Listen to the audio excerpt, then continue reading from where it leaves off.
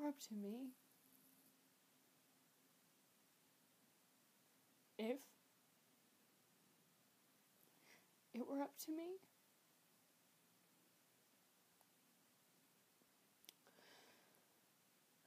well, it's never been up to me, so I'm gonna have to think about that.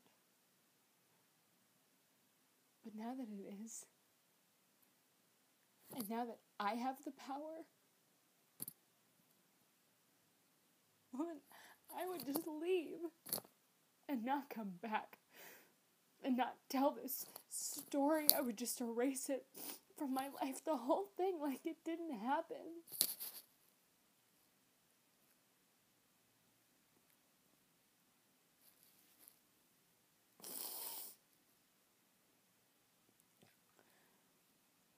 But it did.